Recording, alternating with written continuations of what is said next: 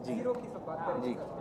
मैंने वो जो पुराना गाना उस गाने को चुनने में आपका कितना हाथ था? शाहरुख का कितना था? और क्यों उस गाने को ही चुना आपने? मोहम्मद रफी साहब के गाने। ये ये इतना इंटरेस्टिंग टॉपिक है कि जिसको मैं सिर्फ़ इधर ये बात करके ख़त्म नहीं करना देता।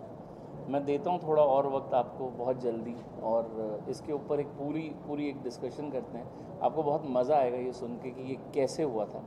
तो ये अपने आप में पूरा एक एपिसोड है इसको अलग रखते हैं। अच्छा सर मैं अगर टाइटल की अगर सर बात करूँ ज़ीरो काफ़ी दिनों से बात चल रही क्या टाइटल रखेंगे तो शाहरुख अनुष्का सभी के डिसीज़न के बाद या आपका डिसीज़न था कि ज़ीरो टाइटल रखेंगे? अगर इस पर अगर आप कुछ हमें बता सकते अम,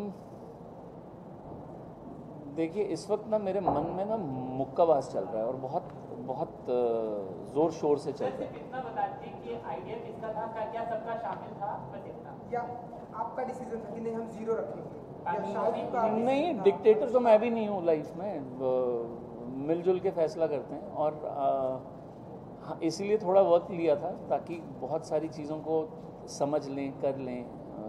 ऐसा नहीं होता, आप जब एक फ़िल्म बनाने उतरते हैं तो बहुत सारे टाइटल्स आपके दिमाग में चल रहे होते हैं। पर आप आप कहीं ना कहीं आपकी एक कन्विक्शन आती है और जिस जिस वक्त वो कन्विक्शन आती है, उस वक्त आप वो तय कर लेते हैं। पर अभी भी मैं ये कहूँगा कि मेरे लिए इस वक्त बड़ा टाइटल मुक्काबाज है तो उस पर हम लोग थोड़ी ज़्यादा बात